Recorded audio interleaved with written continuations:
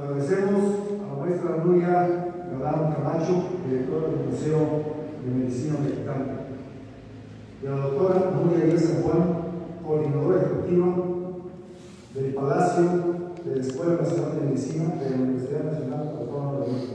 Muchas gracias. Quienes permitieron que el día de hoy sea posible este evento tan significativo en el que podemos recordar la historia del heroico colegio militar y su paso por este histórico recinto, antiguo tribunal de inquisición, distinguidos miembros del presidio, jefes, oficiales, cadetes y público en general, medios de comunicación que nos acompañan, a todos, muy buenas tardes. La estancia del heroico colegio militar en este amplio lugar formó parte de las memorias de este plantel al convertirse en sede por diferentes lapsos de tiempo la historia del heroico colegio militar significa para nuestra nación una serie de hechos que trascendieron y proyectan el esfuerzo constante de mexicanos quienes tuvieron presente el firme propósito de crear una institución. Dicha institución ha sido protagonista en los principales cambios que ha sufrido nuestra nación, destacando siempre su fiel apoyo al gobierno legalmente constituido Gracias a los persistentes esfuerzos del mariscal Diego García Conde, se estableció la Academia de Cadetes en la Dirección de Ingenieros. Posteriormente fue trasladada al edificio del antiguo Tribunal de Inquisición en febrero de 1822. Pero fue clausurada ese mismo año al ser derrocado el efímero Primer Imperio Mexicano. No obstante, el general García Conde reunió de nuevo sus cadetes, logrando tener 16 egresados actuación de este general es digna de recordarse, con todo elogio, por haber sido el creador de la Academia de Cadetes, primera escuela militar mexicana y precursora del plantel educativo que hoy conocemos como Heroico Colegio Militar. El 11 de octubre de 1823 marca para la historia de nuestro país el inicio de un legado de tradición y valores, pues fue en esta fecha el ministro de Guerra y Marina, general José Joaquín de Herrera, decretó la creación del heroico colegio militar en las instalaciones de San Carlos, en Perón de Veracruz. Siendo trasladados de inmediato a ese lugar los cadetes de todos los cuerpos del ejército, excepto el de artillería, constituyéndose en pie de con los egresados de la Academia de Cadetes. El epílogo del Colegio Militar de Perote obedeció a la reorganización y además al decreto expedido el 5 de noviembre de 1827, que preconizaba el establecimiento de un colegio militar para todas las armas del ejército. Fue por ello que el 25 de febrero de 1828, el entonces ministro de Guerra ordenó que los alumnos que aún quedaban fueran concentrados a la Ciudad de México, destacando en esta transición el primer hecho de lealtad del heroico colegio militar en la revuelta del Plan Montaño, el cual tuvo como objetivo disolver las sociedades secretas, renovar el gabinete presidencial, expulsar al ministro Joel R. Ponce y hacer cumplir la Constitución de 1824, apoyando los hijos del colegio militar al teniente coronel Manuel Montaño, en donde tuvieron la oportunidad de dar una prueba de lealtad a las instituciones gubernamentales del país legalmente constituidas, representadas en aquellos días por el general de división Guadalupe Victoria, presidente de la República, estableciendo con ello las bases de una honrosa tradición para este plantel. Llegados a la Ciudad de México, solo algunos de estos alumnos formaron el pie del nuevo colegio militar adscrito a la Brigada de Zapadores, iniciándose sus actividades el 7 de julio de 1828 en este edificio de la Inquisición. En tanto terminaban los arreglos al convento de Letrenitas, lugar designado para su ubicación. Así pues, correspondió al coronel Mora y Villamil recibir a dichos cadetes y organizarlos junto a los alumnos de la Academia de Artillería para formar este nuevo plantel.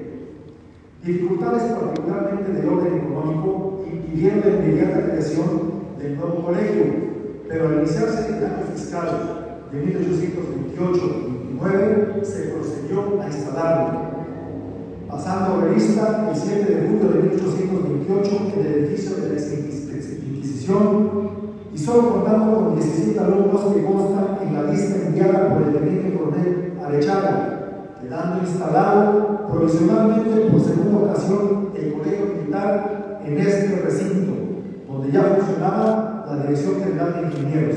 Sin embargo, su paso por este edificio era temporal,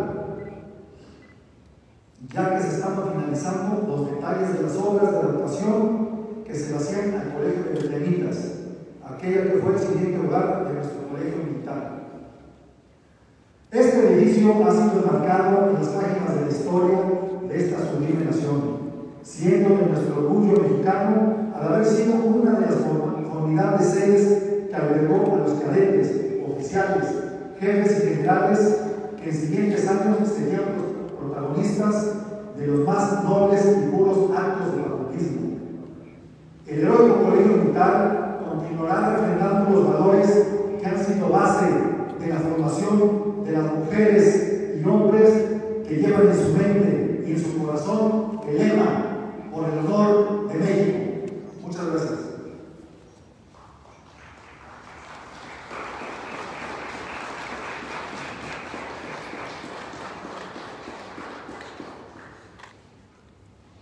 La autor, Luis Díaz San Juan, coordinador ejecutivo del Palacio de la Escuela de Medicina de la Universidad Nacional Autónoma de México, hará uso de la palabra.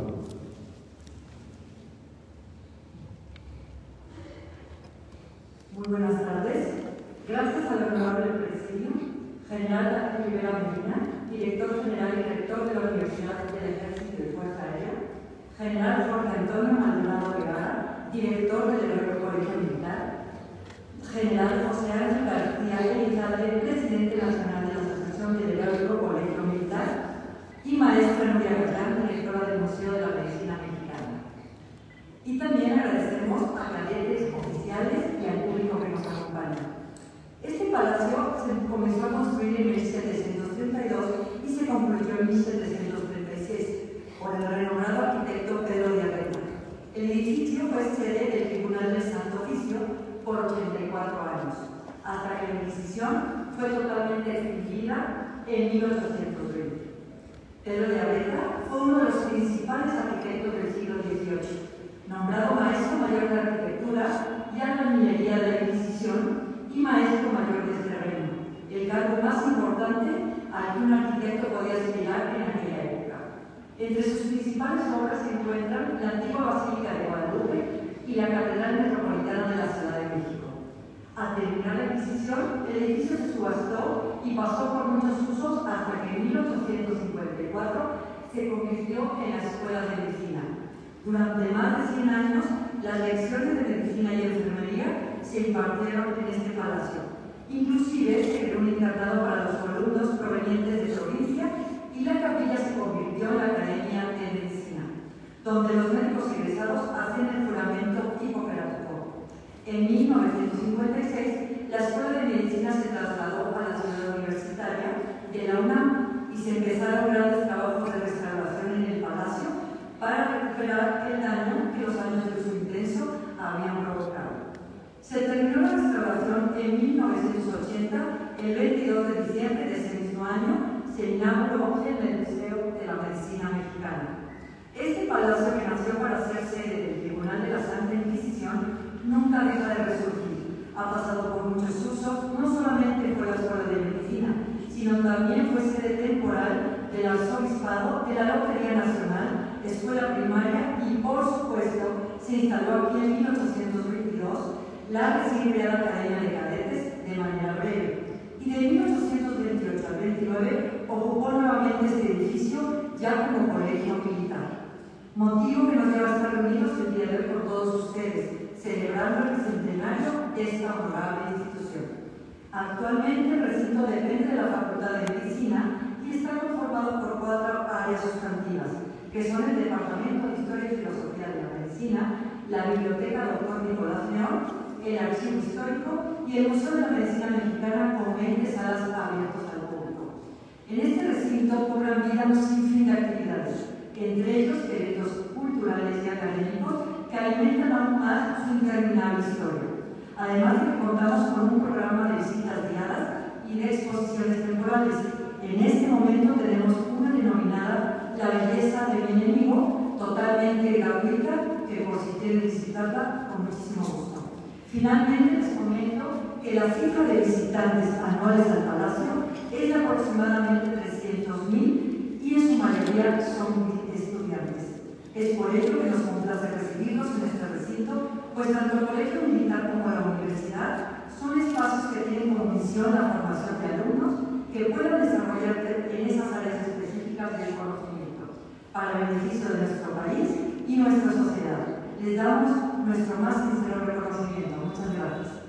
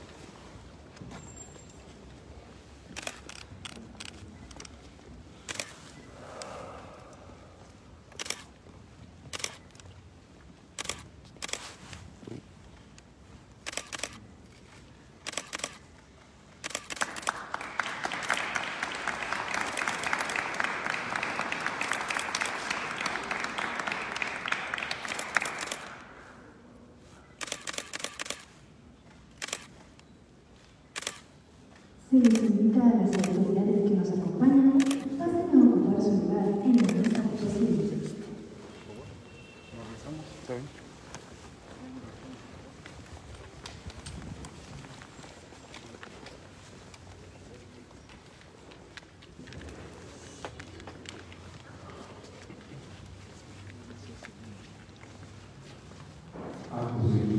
La doctora Díaz Zapata, coordinadora ejecutiva del Palacio de la Escuela de Medicina de la Universidad Nacional de México, hará entrega de un